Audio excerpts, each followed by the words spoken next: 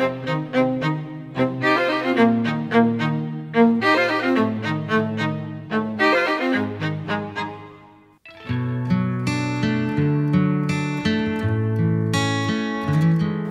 io sono andato avanti a fare ricerca in altri ambiti. Poi nel 2013 la SIAE mi, mi dice, mi chiama, eh, Gino Paoli è stato, che era il presidente della SIAE all'epoca, siccome l'avevo conosciuto nel, nel 93 eh, nel carcere di, di Poggioreale, perché lui era un deputato della Repubblica, si chiamava, eh, ed era un deputato del PC e si occupava di, eh, di questioni carcerarie, è sempre stato è sempre stato vicino a questo tipo di mondo e io lo conobbi lì e mi chiese eh, di pensare a un progetto per le carceri. Io al Polgerare avevo portato l'esperienza di San Vittore, quindi, eh, e lui mi chiese di, di, fare qualcosa. Io mi presi due mesi di tempo e, e poi le carceri del 1990 non sono le carceri del, del 2013 o 2016, un tempo c'erano solo gli italiani, adesso le carceri sono piene del mondo, c'è qualsiasi tipo di etnia all'interno delle, delle, strutture carcerarie. Per cui, e poi oltretutto, cosa è successo? Tanti, magari molti eh, o alcuni di voi sanno qual è davvero il problema, nel senso che oggi nelle carceri c'è tanto volontariato, si fanno tante cose, si fanno tante cose anche di musica. Io ho iniziato quando non c'era niente, non, perché c'erano le leggi che non lo permettevano, ma adesso c'è teatro, c'è qualsiasi cosa. Allora, pensandoci, ho detto che cosa può essere utile oggi nelle strutture carcerarie? Certamente la musica, ma la musica spesso la fanno già, ci sono anche cori, io ho iniziato attraverso l'esperienza corale, attraverso l'esperienza.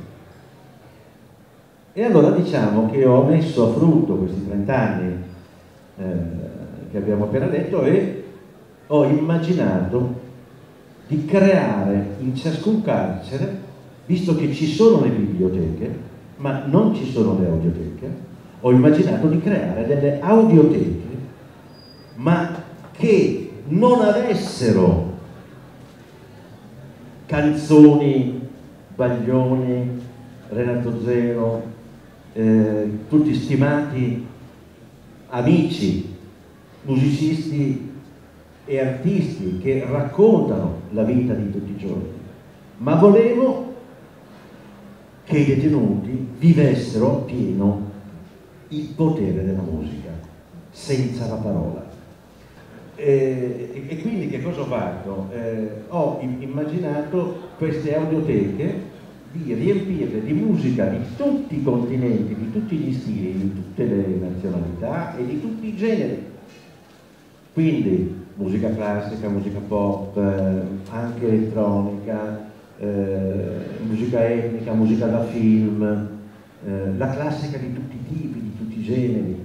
E poi ho chiesto a tanti amici musicisti, Freso, Bordani, tanta, tanta gente, di donare il loro amore per tutta una serie di brani che a loro facevano piacere. Però, c'è un però, cosa gli ho detto anche?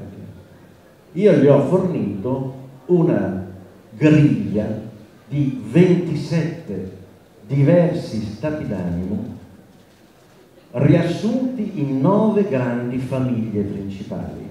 E gli ho detto a ciascuno adesso voi questo brano però vi prendete la responsabilità di metterlo in uno di questi diversi stati d'animo che vi ho offerto come opportunità per riflettere sui vostri sentimenti.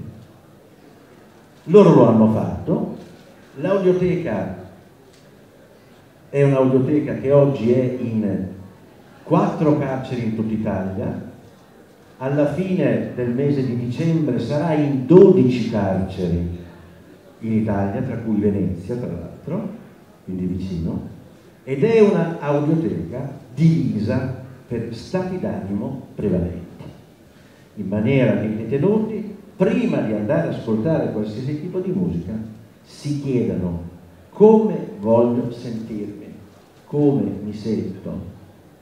E da lì parte la ricerca che ti porta ad una musica